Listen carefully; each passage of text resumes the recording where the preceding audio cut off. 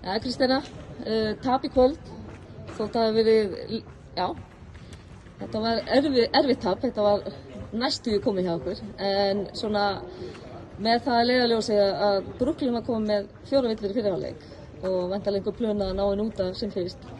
Hvernig hljómaði það plan og hvað klikkaði? Það hljómaði eiginlega bara þannig að þú veist, við erum klárar ef, hún, ef við erum með hana bara eina, dræfið á hana og fáið hana til þess að brjóta því að hún var að brjóta mikið í dag en hún hefur líka bara verið skynsum með þetta og verið bara hér allan tímar þannig að það er bara eins og það er. hún hjekk inn á, það er allavega og maður gefið henni kredit fyrir það. Algjörlega. En ég ljósi þess að vantar svona eitt leikmann hjá þeim og því náttúrulega gjössuðu þar í síðasta leik. Það var frekar auðvöldu sigur á heimavelli. Uh, hvað, hvað er planið fyrir næsta leik?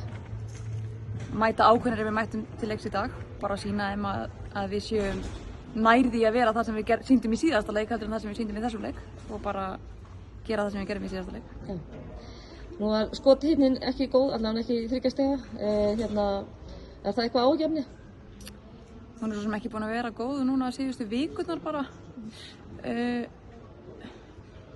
já, eða þú veist, stundum hittum maður, stundum hittum maður ekki. Við hittum vel í síðasta leik, við hittum ekki vel í þessum leik. Við vorum þetta verri í tveggjastæðalínunni í hálfleik heldur en í þryggjastæðalínunni þannig að það, sumir leikir eru bara svona.